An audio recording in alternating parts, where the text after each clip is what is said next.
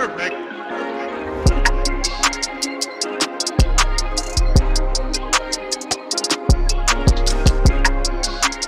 This is your first time here, welcome to Messi World. You love messy, and we're here to bring it. It's a dirty job, but somebody's gotta do it. Go ahead and hit that subscribe button. Alright, so as you can see in that title, Nene gets dragged for filth after posting what was supposed to be a celebratory post of Gregg being found cancer free. So this post comes after Nene was honored at the Associates of Breast and Prostate Cancer and the John Wayne Cancer Institute, where she received the Woman of Achievement Award. The award was granted to Nene because of her exceptional work as her husband Gregg's caretaker. Now, okay, so Nene received this award because, as you know, Gregg was fighting for his life because he had been diagnosed with late stage colon cancer last year. Now, many fans were surprised that Nene Leakes received this award because the Bravo show did paint Nene as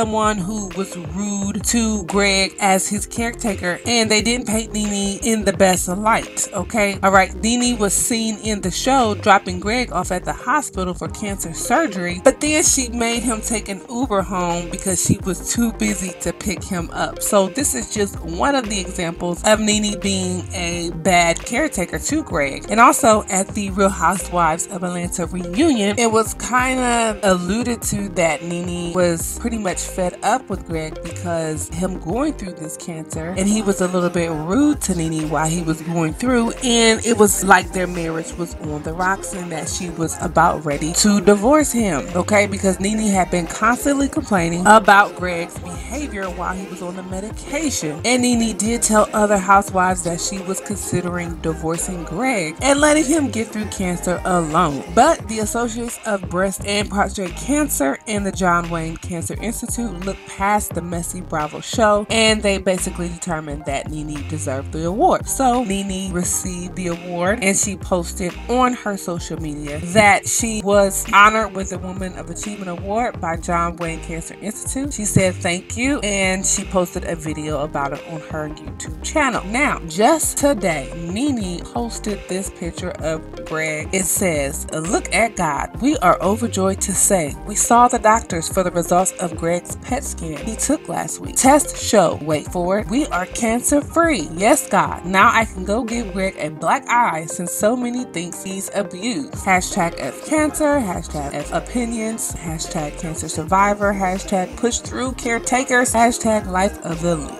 Now, as you can see, Gregg is holding the sign, no cancer found, praise God. Yes, that is definitely a blessing that Gregg is cancer free, and I hope he stays free. That is a tremendous blessing and an answer to prayer. But Nene's comment section is not here for it. They are dragging Nene because of that last part of her comment. All right, so check out some of these comments from some of Nene's fans. Someone says she could have left that last sarcastic, unnecessary part out. But yes, God is good. Go, Gregg. Someone says dealing with Nene is abuse for anyone. Congrats to Gregg. I'm happy for Gregg. I just wish this miserable lady wasn't attached to him. God is good. God, please bless Greg and help him find a better woman, a woman more fit for his good heart, and rebuke and cast away that tall giant called Leakes, because she is cancerous to anyone's health or friendship. So glad to hear this, but why does Nene always have to make everything about herself? This was his moment, very egomaniacal and childish.